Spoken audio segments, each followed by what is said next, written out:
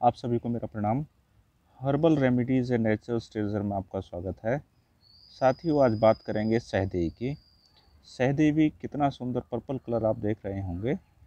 ये एक herbaceous plant है और महान औषधि है। विभिन्न प्रकार के रोगों में इसका उपयोग किया जाता है। ख़ास तौर से लीवर रेमेडिएशन में तो ये अचूक इलाज है लीवर रेमेडिएशन का।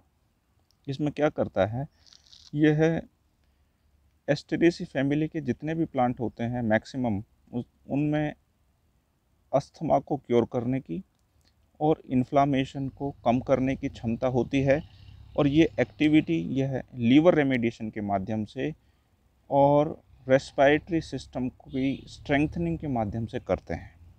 मित्रों, सहदेवी यानी वर्नोनिया सिंड्रिया, ये एस्टेरेसी फैमिली का प्लांट है।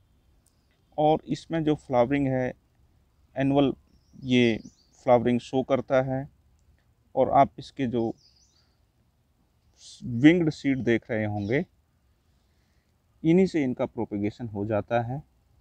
बीजों का, इसके फ्लावर्स का, इसकी पाए जाने वाली जो जड़ होती है, इनका अलग अलग औषधीय उपयोग हैं।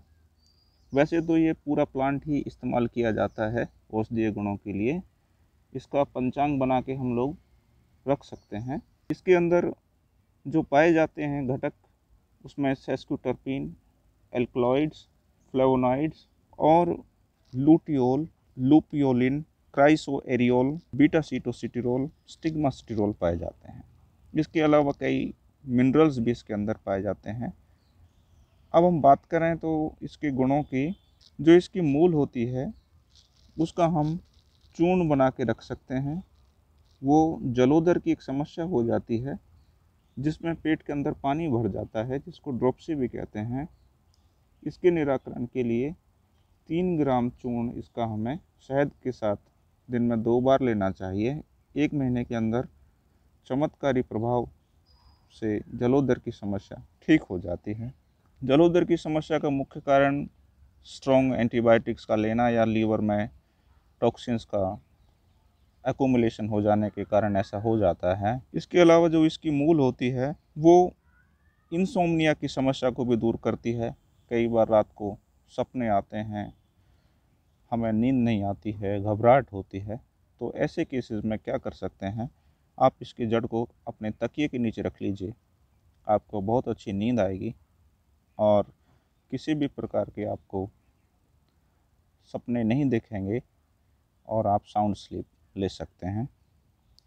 इसके जो फूल होते हैं, ये जो आप देख रहे होंगे, इनको आप फंट बना के आँखों की रेडनेस को दूर करने के लिए कंजंक्टिवाइटिस की समस्या के निराकरण के लिए दो से तीन ड्रॉप दिन में एक से दो बार डाल सकते हैं। फंट बनाने की विधि हम पहले भी बता चुके हैं। आपके समय का ध्यान रखते हुए आज नहीं चर्चा करेंगे। इसका जो होल प्लांट का अगर आप डिकॉक्शन बना के सेवन करेंगे तो ये इम्यूनोमोडुलेटर का कार्य करता है और आपके बदलते हुए मौसम में आपके बॉडी की इम्यूनिटी को भी ये बढ़ाता है। इसके अलावा इसका जो डिकॉक्शन होता है, वो असमरी या पथरी, किसी भी प्रकार की पथरी हो, उसमें बहुत अच्छा प्रभाव इसका देखा गया है। आप इसको पाँच ग्राम इसका पंचांग लेकर उसको डिकॉक्शन बना लीजिए, काढ़ा बना लीजिए और उसको आप 150 फिफ्टी दिन में दो से तीन बार पी सकते हैं। बहुत अच्छा ये कार्य करता है। कुष्ठ रोगों में इसके पत्तों का आप लेप लगा सकते हैं और साथ ही साथ पंचांग को भी आपको इसके साथ साथ पीते रहना चाहिए। कई बार बार बार बुखार होता है, मौसम बदलने के बाद रिकरेंट फीवर इसको हम कहते हैं। ऐसे रोगियों के लिए यह शरीर से पसीने को निकालने वाला डायफ्रोटिक का कार्य करता है। पसीने के माध्यम से शरीर से टॉक्सिन्स को निकाल देता है और बार बार बुखार नहीं होता है। पेट के अंदर विभिन्न प्रकार के कृमि हो जाते हैं। उनके निराकरण के लिए भी आप इसको डिकॉक्शन बनाकर पी सकते हैं। यह कृमिनाशक भी है। मलेरिया फीवर हो, चाहे वायरल फीवर हो, चाहे बदलते हुए मौसम में इम्यूनिटी कंप्रोमाइजिंग के कारण अगर कोई फीवर हो उस केस में भी आप इसको काढ़ा बनाकर दे सकते हैं। बहुत अच्छा कार्य करता है। मुख रोग हों तो इसका डिकॉक्शन से आप कुल्ला कीजिए।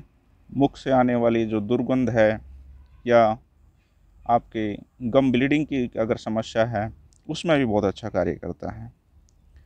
आपका तनाव को ये रिलीव करता है, सेडेटिव का ये कार्य करता है। कई बार क्या होता है कि पित्त के ज़्यादा बढ़ जाने के कारण या वात पित्त और कफ तीनों में बैलेंस ना होने के कारण ट्यूमर भी बनने की प्रक्रिया स्टार्ट हो जाती है। तो इसकी जो एंटी ट्यूमर एक्टिविटी है, ये बहुत अच्छा कार्य करते हुए एंटी ट्यूमर एक्टिविटी भी अपनी शो करता है और ट्यूमर में विशेष लाभ करता है। कई बार पेन भी होता है तो यह एनाल्जेसिक का कार्य भी करता है। तो ट्यूमर में होने वाले पेन और ट्यूमर के निराकरण के लिए इसको आप डिकॉक्शन भी पीजिए, को लगाइए भी। इसके लेप को आपको पूरे प्लांट का पंचांग का आप लेप बनाकर भी लगा सकते हैं और इसका डिकॉक्शन बनाकर भी पी सकते हैं। साथियों, ध्यान ये रखना है, इसके अंदर एंटी कोलिन एस्ट्रेज एक्टिविटी होती है, जिससे यह बॉडी में धीरे धीरे एसिटाइल कोलिन के लेवल को बढ़ा देता है। तो कुछ न्यूरो डिजनरेटिव डिसीज़ ऐसी हैं, जिसमें हमें इसको नहीं लेना चाहिए। तो इसका भी हमें ध्यान रखना चाहिए। ख़ास तौर से अगर मैं कहूँ तो एक प्रकार की पार्किंसन डिसीज़ भी न्यूरो डिजनरेटिव डिसीज़ के अंदर आती है। तो उसमें एसिटाइल कोलिन का लेवल पहले से ही बढ़ा हुआ होता है। तो ऐसे पेशेंट्स को इसको नहीं देना चाहिए। और ये साइंटिफिक इन्फॉर्मेशन आपको पसंद आए तो लाइक शेयर सब्सक्राइब ज़रूर कीजिए ताकि सभी लोगों का इससे भला हो सके। और इन्हीं बातों के साथ फिर मैं आपसे अलविदा लेता हूँ। आप सभी का धन्यवाद प्रणाम नमस्कार।